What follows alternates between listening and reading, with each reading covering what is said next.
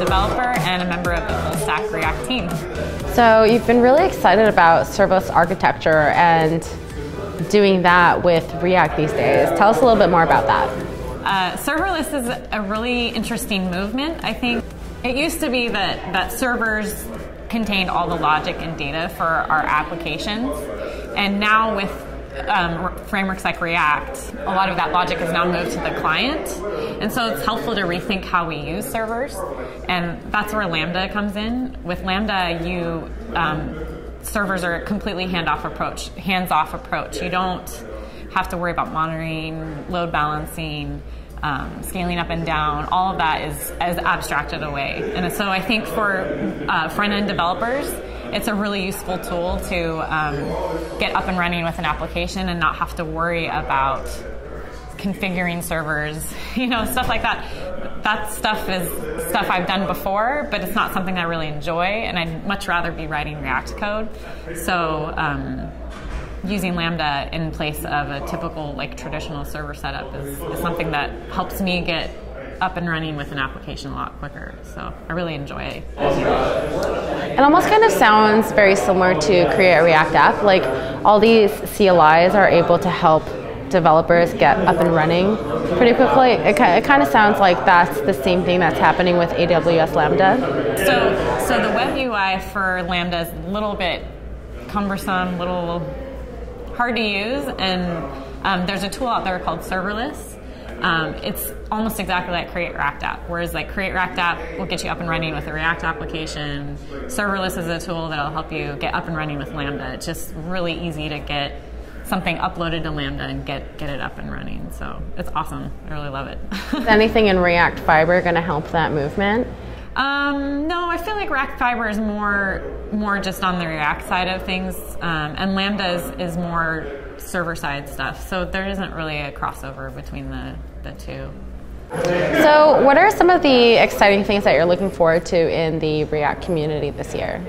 I think, um, well, I really enjoy going to meetups. Devin Lindsay is, is someone that, that hosts one of the one of the React Bay Area meetups here in the Bay Area and um, I think it's just really enjoyable for me to see how many new companies are adopting React and what they're doing with React. Uh, it seems like a lot of companies will take a little portion of their um, entire web application and, and, use React in that little, you know, make, maybe maybe create a little widget or some other aspect of their website, not completely redo their whole application with React. And I think that's really one of the key um, benefits of React is like you don't have to rewrite your entire code base just to be able to test it out or use it.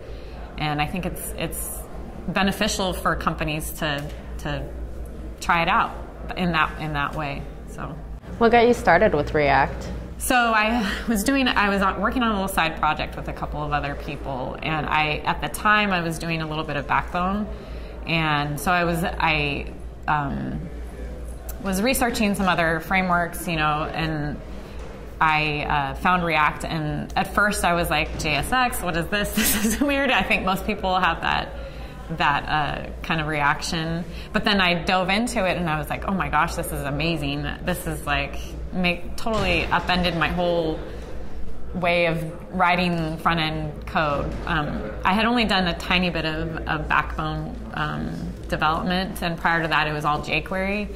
And jQuery is good, but I felt like React really um, uh, helped me rethink how how I um, create an application, how I structure an application, and I really loved that it kind of gave me a better um, better tools to to really uh, just have a better structure. Yeah, I love I love React. it's awesome. JSX is kind of like was one of those things that when I first looked at React got me really confused. And where is that point? Like, when was that breaking point for you where you finally crossed over to the path of really loving React? Yeah, that is a good question. I think. Um, I think when you kind of realize that it's not, it's not not so different from HTML. I think when I figured that out, like, oh, it's pretty similar to HTML um, then then I then I wasn't so hesitant to to dive in and really explore React.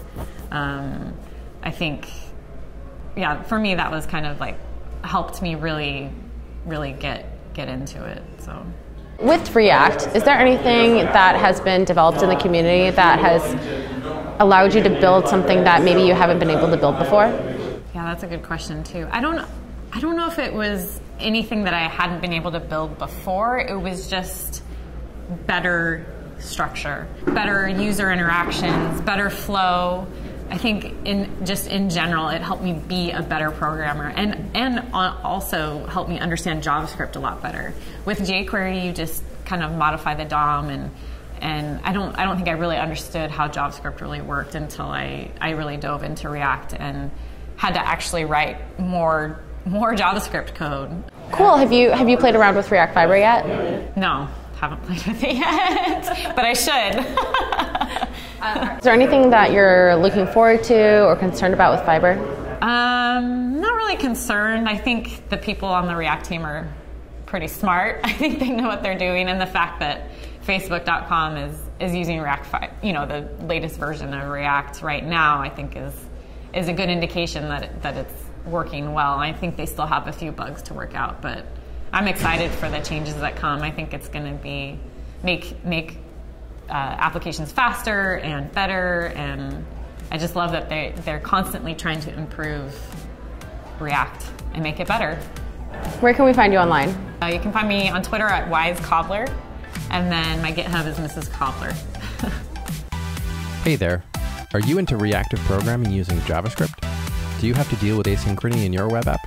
Then join this dot instructor Ben Lesh to learn all of the ins and outs of RxJS in his hands-on workshop.